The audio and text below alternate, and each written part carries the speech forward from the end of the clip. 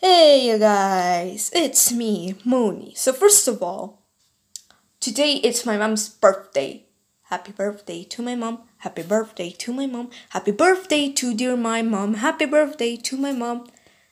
Alright, I'm not making this video for only saying that it's my mom's birthday. Anyway, today my mom uh, gave me a PlayStation 4 with the game Detroit Become Human. And when I was like starting playing with it, Sorry, I was too fucking excited. I want to start it. It went right on the way.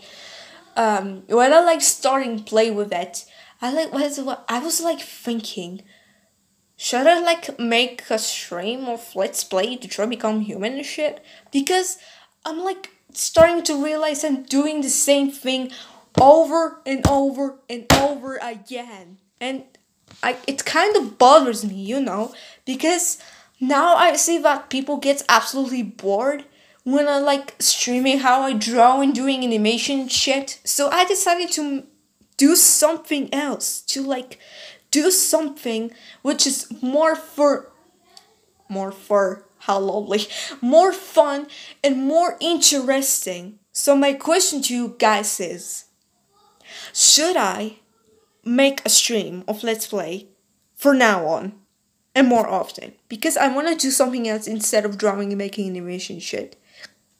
So yeah, please answer in the comments down below and I will see you in the stream. So yeah, see you later.